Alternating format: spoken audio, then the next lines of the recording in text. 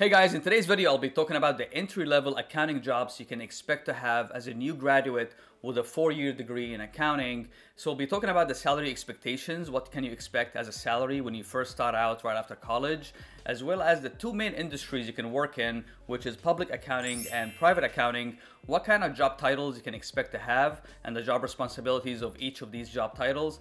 That's the topic of this video today, so stick around.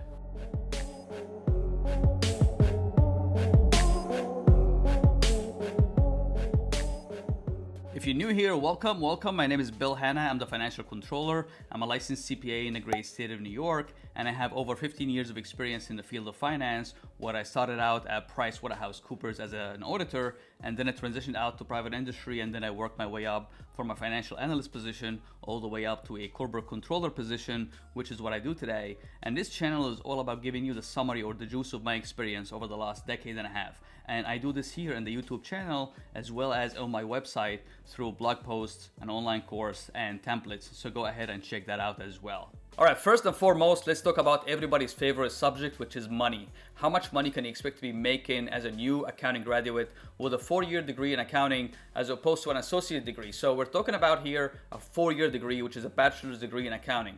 So let's jump into my computer and I'm gonna show you what kind of salary you'll be looking at. There are so many places online where you can find the average salary information for an entry-level uh, junior accountant, but I've chose to look at ZipRecruiter because this is one of the websites that I like to use when I'm hiring for a new accounting position on my team. So by looking at ZipRecruiter, we can see that the national average here in the United States is $43,000 a year. While in New York City, which is the market that I am in, the average salary is 48,000 almost here, uh, or that translates into $23 an hour. But you can see that the range can go all the way up to almost 58,000 here, depending on the industry that you work in. Uh, some industries are more lucrative than others. For example, some of these software companies are paying higher salaries than say manufacturing companies or services companies. So depending on the industry, you can command a higher salary as an entry level accountant. So this is obviously a very good number, like $48,000 right out of school is a very good number and I highly recommend accounting as a field.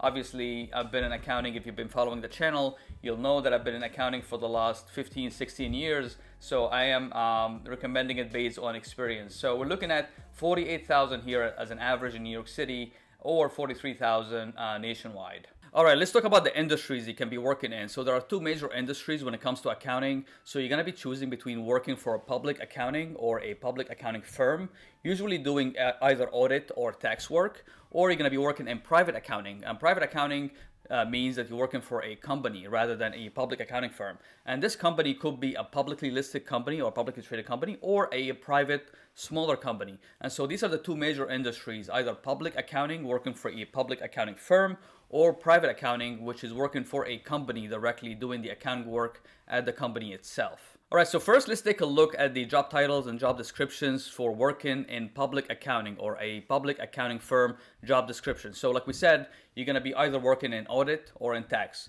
If you work in audit, you'll be an audit associate, uh, and if you work in tax, you'll be a tax associate.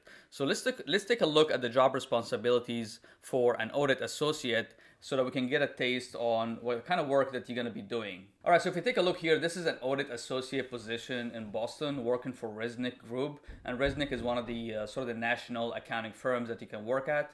And let's take a look at the responsibilities for an auditor. So basically what they're saying here is that you're going to be responsible for assisting in areas of audit, review, compilations, and accounting services. Obviously, uh, working in audits, that's going to be sort of the highest level of assurance. So you're going to be working within a team, performing an audit for the client uh, or you're going to be working on a review engagement, which is a slightly less assurance type um, of service than audit, and you'll be doing also some review work for clients. Uh, compilation, meaning that you uh, you're going to be compiling financial statements for the client. So compilation refers to gathering information and creating financial statements, um, and uh, you know obviously various other types of accounting services for these clients. And it says here that you're going to be working, um, you work on a variety of client deliverables and preparing work papers. So client deliverables means that you'll have some areas assigned to you in the audit engagement. Um, say on the income statement, maybe a couple of the expense uh, line items, and you're going to be working on verifying and gathering evidence to support these line items on the financial statements. So Uh, what they mean here by preparing uh, work papers, uh, work papers is the actual support for the audit work that you're doing. So, if, for example, if you're auditing an expense line item, the working papers will be the supporting invoices or Excel files or whatever calculation that supports the expense on the income statement.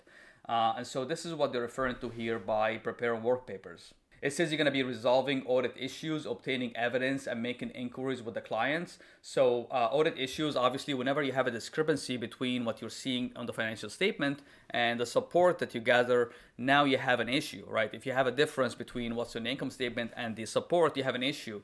So, your job here is going to be resolving this issue. And how are you going to resolve this issue?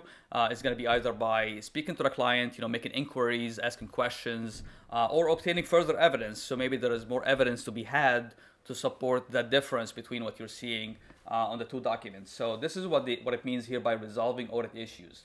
Uh, it says you're going to be understanding the client's accounting systems. So typically, when you work on a client's audit um, engagement, first the first thing you do is you sit with the client and walk through their accounting system. So the client will be showing you how their accounting system works. So you need to develop an understanding of the accounting system that the client is using. Um, you also need to understand and apply concepts of materiality and audit risk. And obviously as a new associate you're not going to be super versed in materiality and audit risk approaches um, this is something that you maybe have learned in school in an auditing class, um, but you're not expected to really be experienced in this stuff. You're going to be learning it on the job. So don't stress over, um, you know, uh, learning concepts of materiality and audit risk. Uh, every company or every, fir- every firm will teach you their approach to the materiality and audit risk. Uh, and then it says prepare work papers um, that are informative, well documented, cross referenced, and can easily be understood and explained and this is one of the core areas of audit work is the actual work papers right? So the work papers like we said refers to the evidence that you gather right? So the evidence that you gather let's say for example uh, an excel file. This excel file needs to be uh, named correctly. So the name of the file refers to the content so that when someone looks at the name they immediately know what's in inside the file. And also when you save it say in a computer you're saving it in the right folder. So let's say uh, there are subfolders for the engagement. Uh, you create the right folder or save it in the right place so that that makes it easy for someone else to find it and then read the name and understand what's what's the file referring to.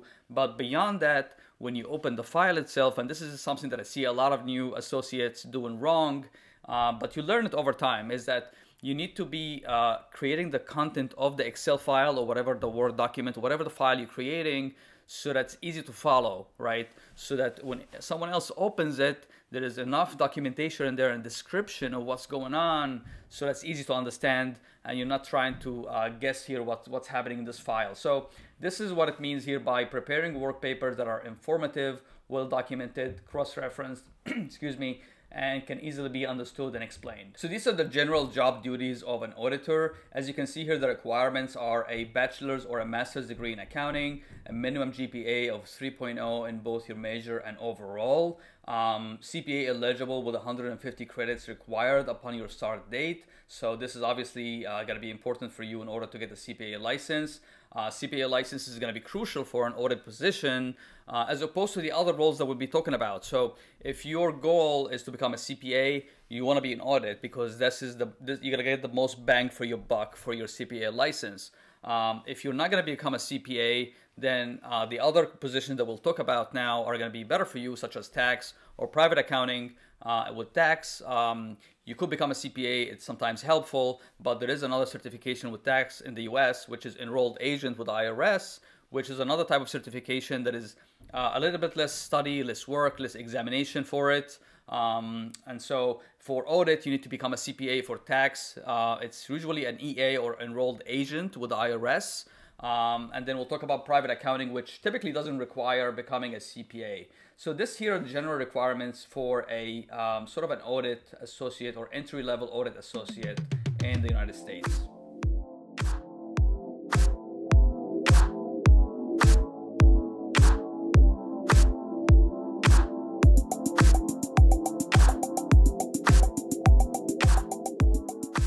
All right, let's take a look at the second area in public accounting, which is tax. Uh, so you'll be working as a tax associate at a public accounting firm. So let's take a look here. This is an entry-level tax accountant position uh, in Florham Park, New Jersey. Um, and so if you look here at the uh, job responsibilities, basically what you'll be doing is preparing tax returns. So it could be a 1040 or 1041. Um, you know, 1040 obviously is for individual taxation. So this is typically high net worth individuals um, or partnerships, uh, which is 1065 or corporations, which is 1120. This is the, the major tax form or income tax form uh, in the US under the supervision, um, you know, under supervision from more experienced staff. So obviously here what they're saying is you're gonna be doing these things, but under the supervision of more experienced staff. So you'll be getting the guidance you need to be able to do this stuff. Also, it says here interact and communicate with clients. So obviously for you to prepare the tax return, you need to gather the actual information from the clients, right? So you need to be able to communicate with the client via email, phone, uh, gather the information that are necessary for uh, to prepare the tax return.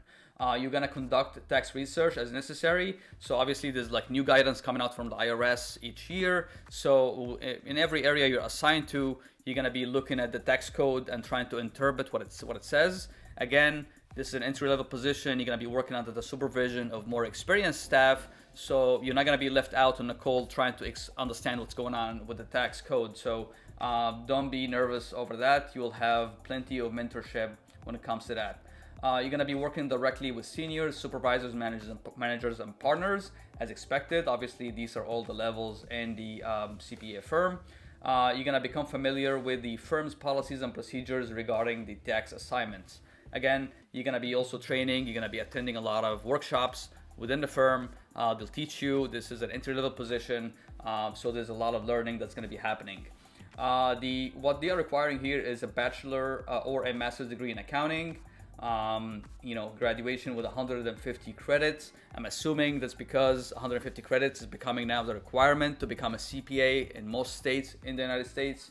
Um, and so um, you also require a minimum GPA of 3.0. Again, we've seen that in the previous job uh, post. So obviously getting your grades up is very important for you to get the first job, right? Um, uh, excellent verbal, written, and organiz- organizational skills blah blah blah. So all of this this is the stuff that's required. You know, this is the things that you're gonna be doing uh, in tax accounting, and this is the requirements for the job. All right, so now we cover public accounting or working at a public accounting firm. Let's talk about private accounting, and what I mean by that is working for the company directly.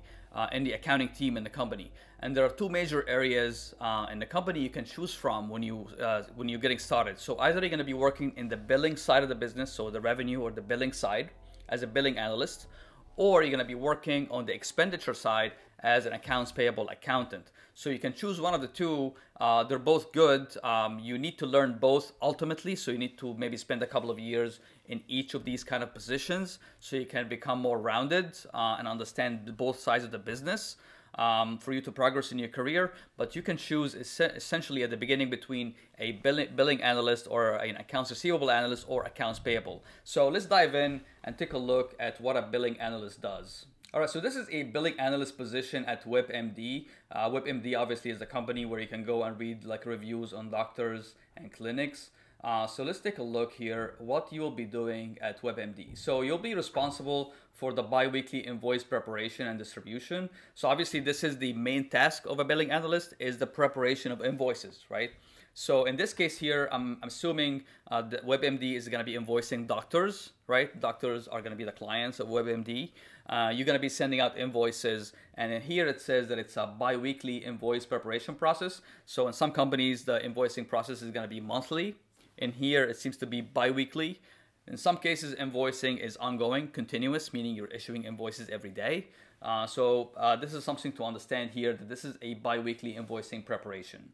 Uh, you're going to be researching and resolving billing inquiries and assist with client account reconciliation. So billing inquiries are going to be obviously coming from the doctors or the clients of this company, and you're going to get these inquiries by email most likely. Um, someone is going to be asking a question about one of the invoices. You're going to research it, get back to them, uh, and explain the invoice. And you're going to be obviously assisting with the client account reconciliation, meaning that you're looking at each doctor's account or customer's account and reconciling it, making sure that they're paying on time, making sure that there are no outstanding invoices uh, that are past due. Uh, you're gonna be also working closely with both sales, media operations to ensure billing accuracy. So sales and media operations in this case is the internal team within the company uh, that is going to be giving you information on uh, what you can be invoicing for. So you're going to be working very closely with the sales and the internal team, the operations team, uh, to make sure the billing accuracy is correct. Uh, monthly review of the incomplete report and secure billing status and sales operations for unbilled balances. So I'm assuming here that incomplete report is sort of an internal report that they generate that shows them whether the, the billing for the month is complete or incomplete. Um, every company has a version of that, of finding a way to uh, have a report that makes sure that the billing is complete, right? Uh, you're gonna be responding in a timely manner to sales and client inquiries and assist with quarterly audits and as necessary. Um, so obviously, you know, you're gonna be getting, getting questions from sales, uh, the sales team within the company you're working in, and also questions from the clients. Uh, you're going to be assisting and you know answering these questions as well as being involved in the audits um, inside the company, uh, whether it's an internal audit or an external audit. And then obviously there's the occasional ad hoc, uh, you know, project requested by management. So these are the general job responsibilities uh, for a billing analyst position. All right, now that we covered billing analyst, let's talk about the accounts payable position. If you work in the expenditure side of the business or the accounts payable side of the business, let's take a look at an accounts payable position. And this is the accounts payable specialist position uh, by Atrium Staffing. Um, let's take a look. As you can see here, uh, you know, the salary range is 50K to 55K. So it's pretty nice uh, salary for an entry level position. So what you'll be doing here is you'll be processing invoices, uh, schedule and prepare checks, and resolve purchase orders. So as an accounts payable associate, you'll be reconciling purchase orders, um, whatever the company has approved to purchase, and reconcile that with the invoice. So when you get an invoice from a vendor, you'll be matching it with a purchase order to make sure that this is something that the company actually authorized uh, purchasing. So um, you'll be doing that as well as preparing the checks. Um, and this is obviously an entry level position. So they'll be showing you how to prepare checks and resolve purchase orders and all that stuff. Um, receive and verify expense reports. So what we're talking about here, expense reports from the internal staff of the company. The actual staff of the company will be spending on business, um, you know, expenditures such as travel, um, you know, their cell phone, their internet connection, things like that, and they'll be submitting expense reports uh, for the company to get reimbursed. So uh, one of your job responsibilities is going to be reviewing these expense reports and making sure they're correct, they're approved by the right manager, and that they're ready for payment. Um, you're gonna also be doing, um, you know, gonna be processing check requests and expense reports again, uh, expense reports, and then perform monthly account reconciliation. So what they're saying here is that account reconciliation. So what you're doing, what you'll be doing every month at the end of each month to close the books is generate an AP aging or accounts payable aging schedule that shows um, by bucket what's owed uh, to vendors and making sure that reconciles to the balance in the balance sheet. Uh, and also you got to be looking at it to make sure that uh, you know you're not late on payments to vendors, right? So this is what it means to reconcile the account at each month's uh, end. And then you have audit, um, audit and process credit card bills. So you'll be getting also company credit card bills. You'll be also reviewing that, making sure that the expenses on it are correct, have supporting receipts, and are booked correctly on the books and records uh, perform data entry associated with accounts payable, um, also maintaining financial records um, by filing documents. So filing is important for this job because you'll be having a lot of paperwork, a lot of supporting Excel files and things like that and PDF files. Uh, so, you know, having a good filing system is going to be good. And, you know, obviously this is an entry level position. So don't stress too much on like, this is something you need to be knowing beforehand but just be open to learning because you'll be learning that on the job. Also, it says here that you'll be reviewing and maintaining high volume of vendor accounts and correct payment discrepancies. So obviously, if there are any discrepancies in the payments that you're making, you, uh, your job is going to be to kind of investigate and resolve these discrepancies. Uh, and then obviously accurately um, review, code, and process invoices. And what we mean by that is that you obviously are reviewing the invoices you're getting from vendors, but coding, what they refer by coding, is how you enter it in the accounting system. So coding uh, refers to the uh, process of choosing the right um, GL code or general ledger account number for the income statement or the balance sheet whatever what you're booking. Uh, so coding is the selecting the GL account, the department, uh, location and things like that in account in the accounting package uh, in in the process of you know booking these invoices. So these are the general job responsibilities um, for an accounts payable specialist. All right, I hope you find this video informative and if you do, maybe share it with a friend who might benefit from it. And if you liked it, smash that like button and I'll see you in the next video.